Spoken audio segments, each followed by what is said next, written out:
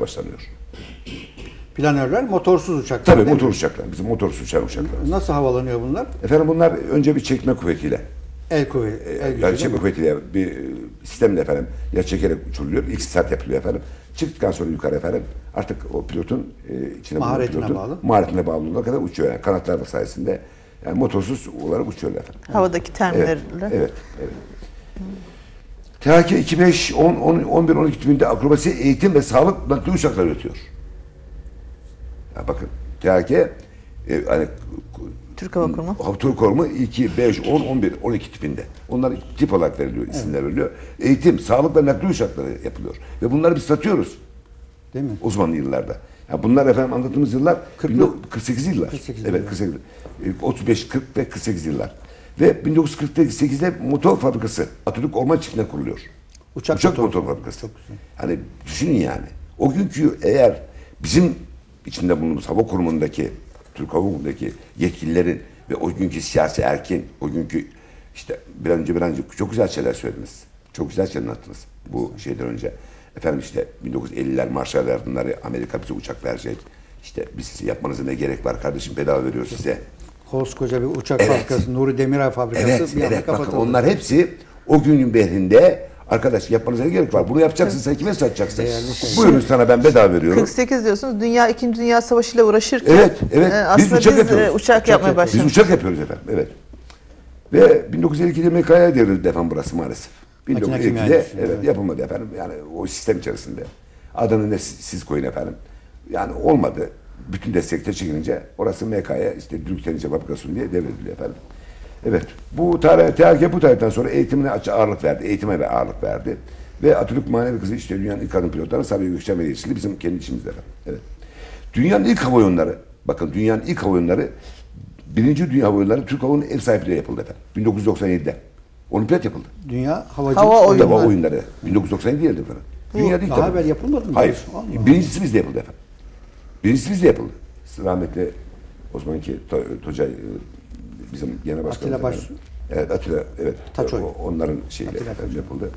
Allah rahmet eylesin evet. Evet. Birinci oyunları İngilizlerin sırasında 2004 İnönü'nde düzenlendi efendim. Birinci Türkiye Hava Oyunları. Bizim kendi oyunlarımız. O 2000'de orada düzenlendi. 16 Şubat 2007'de 1981'den beri orman yangınlarına havadan uçakla müdahale eden THK 1985 yılından beri biz orman yangınlarına müdahale ediyoruz. Ama şu anda, şu anda efendim THK öz kaynaklarıyla yani halktan verilen paralarla ve kendi öz kaynaklarıyla, gelirleriyle 5 adet amfibik yangın söndürme uçağı CL 215 e, Sayın e, beyefendi gördü orada maketi vardı. Şu an dünyanın en e, modern uçağı. Amfibik. En e, amfibi uçaklar efendim. Yani şöyle arz edeyim ben size. 5 saniyede 5 ton suyu alıyor. Beş 5 saniye. saniyede. Süper bir şey. Yani suya iniyor efendim. İçine mayi var. İniyor 5 saniyede. altı Durmadan saniyede. uçarken alıp geçiyor. Hayır efendim uçarken daha iniyor efendim. Alıyor 5 saniyede 6 saniyede 500 ton su. Gidiyor efendim yangını söndürüyor. Bir tekrar geliyor gene 5 saniyede yine suyunu alıyor efendim. Çok güzel. Mükemmel bir şey efendim. E, şu anda inanın bana geçen de söyledim ben burada. Artık orman yangınları Epey azaldı ve efendim başarılı azaldı, müdahaleler. çoğaldı. Ama biz çabuk söndürüyoruz. Yani biz çabuk söndürüyoruz. Zayiat azaldı. Büyümeden Evet, sönüyor. evet, evet. Yani hemen e, Yangın söndürme filosuna 2010'da 2, 2011'de de 2 olmak üzere 4 adet daha eklendi efendim. Yani şu anda bizim elimizde 12 tane amfibik uçağımız var. Bunlar çok pahalı şeyler. Şu anda son yönetim kurulları 4 tane de CL e, 425 alıyoruz efendim. Yani şu anda şunu arz edeyim ben size. Avrupa'nın, Balkanların ve Avrupa'nın Balkanların en büyük filosuna sahip yangın söndürme ekibine sahibiz. Yani Balkanlar Alman'da. E bir ara Ukrayna'dan böyle yangın uçakları falan efendim. Artık kiralanıyor. birleşti efendim. Çok da şaibeli şeyler de Evet onlar yani. birleşti artık. Bakın şu Verimsiz. şu andaki hükümetimiz tabii çok güzel şeyler yaptı. Şu anda altın çağımızı yaşıyoruz. Hava kurumu olarak şu anda biz Çok hava kurumu olarak 1925'te kurulan kurum 2009'dan sonra ikinci defa kuruldu. İstikbalin göklerde olduğunu ispat Evet, ediyoruz. ispat ettik ve şu an biz altın çağımızı yaşıyoruz. Şu anda millileşmiş bir e, yangın söndürme projemiz var. Güzel bir yönetim kurulumuz var. 2009'dan beri diyorsunuz, değil mi? 2009'dan beri. Ben bunu arz ediyorum size bakın. Ben de yönetime geldiğim için söylemiyorum. Evet biz bunları görüyoruz. Yıllardır bunun içindeyiz. Ve şu anda biz altın çağımızı yaşıyoruz. Üniversitemizle, yangın söndürmemizle. Bir şey de arz edeceğim size. Şu anda biz Avrupa'da yangın söndürüyoruz. İhale gidiyoruz. İspanya falan bir ara gitti galiba. Tabii efendim. Bakın İtalya'da şu anda bizim şeyimiz var, ihalemiz var. Şu anda İtalya'daki yangını biz söndürüyoruz. Orada uçaklarımız var Ne kadar güzel. Bakın- Yunanistan'a müdahale etti. yardım Tabii etti. Yunanistan müdahale ettik. İsrail'de yangını söndürdük. Doğru, oraya gittik. Doğru. Efendim bakın çok mükemmel bir şey. Yani gittik uçakla yangın söndürdük. Onların yani biz bizim için efendim insan insandır, orman ormandır. Bizim efendim şey olmaz. Dünyanın servetidir bunlar. Tabii servet Kimin elinde olursa olsun. Sayın Başbakanımız efendim aramışlardır. Sayın Başkanıma, Genel Başkanıma durumu emretmişlerdir. Genel Başkanım da hiç tereddüt yok zaten gelen talimatlar içerisinde gitmiştir. 650 milyar lira almamız gerekiyor. Hayır. Başbakanımız da katiyetten bu parayı al, yani tasvip etmemişlerdir. İsrail'deki yangını Tabii. almadılar. Bir söndürü gelmiştir. Bilabeder söndürmek. Bilal bedeli, hayır- Bir hayır. sö- Söndürü gelmiştir. Bunu biz kalkıp reklam bile etmemiştir. O bizim görevimizdir. Biz Türkiye devletlerden mesela gitsinler Azerbaycan olsun, neresi olursa olsun. Gideriz yangın söndürürüz efendim, geliriz efendim biz. Sanayi yangınları söndürürüz, orman yangını dışında. Çok güzel. Sanayi yangını söndürüyoruz. Enteresan. En son Uludağ'da bir yangın vardı. Mesela orayı söndürüp, mesela kağıt fabrikası yandı Adapazarı'nda orayı söndürüp. Ama bir şey var. İşte bizim medyada, medyamızda bunu hep söylüyorum. Hava kurumu olarak geçmiyor adımız. Uçaklar diyorlar. Ya uçak bizden başka kimse yok ki. Ya oraya bir hava kurumu yaz. Savaş Bir de- uçakları söndürmüyor Değil. bunu. Yani uçak da başka yerden gelmiyor. Bir de şu var efendim. Bizler orman yangını ihalesine giriyoruz. Orman Bakanı'nın açtığı ihale giriyoruz ve bizde veriliyor bu ihale. Çünkü verdiğimiz değer ona göre biçiliyor. Ve biz 7 senelik mesela ihalemiz var şu anda. Onu biz söndüreceğiz. O Türkiye'deki orman yangınlarını. Ve bizim kendi pilotlarımız. Yani affedersiniz çok büyük tabir vardır. El eline eşeğini gülerek arar. Hayır bizim pilotumuz canlı su bombasıdır efendim. Canlı su bombasıdır. O adamlar yakarlar. Ne için yaktıklarını biz biliriz bazılarını.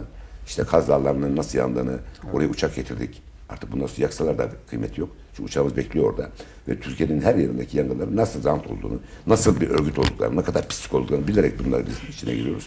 Onlar ne kadar bu işin içine girip de yapıyorlarsa biz de bunu bu kadar söylemek için elimize geleni yapıyoruz. Onun için kimse efendim bunun için tereddüt etmesin. Türkiye Cumhuriyeti büyük devlettir. Hava kurumu büyüktür. Ve Avrupa'nın Balkanlar en büyük hava. Şunu demek istiyorsunuz değil mi? Mesela Ukrayna söndürüyordu eskiden. Ukraynalı pilot orada söndürüyor. Rusya'dan hani uçaklar geliyor. o aldığı günlük şeye bakıyor, Tabii. paraya bakıyor. Sortiye bakıyor efendim. Sortisine bakıyor. Sortisine bakıyor. Hani Ben diyor, tepeden ben diyor. atmış, şeyden Uçmadığı zaman da atmış. kirasını alıyor zaten. Tabii efendim o zaten durduğu yere parasını Yani alıyor. kendini riske sokmuyor hiçbir zaman. Canını riske sokmuyor.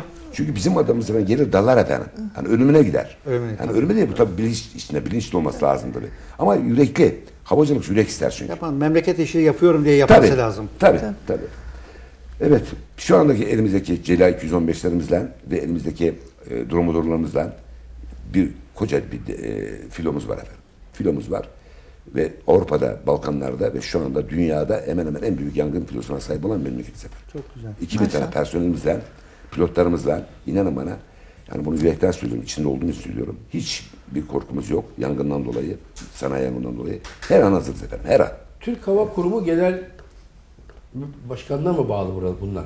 Hayır biz efendim bir yönetim, biz toplum örgütüyüz. Sivil toplum örgütü. Biz toplum Devletten örgütü. herhangi bir destek alan Tabii bir yer değil. Ben hasbelkader 460 şubemiz var. Ben asker, hasbelkader askerim efendim. Yüzde onudur asker. Yani 40 tane asker var. Gelen 410 tanesi efendim sivildir. Evet.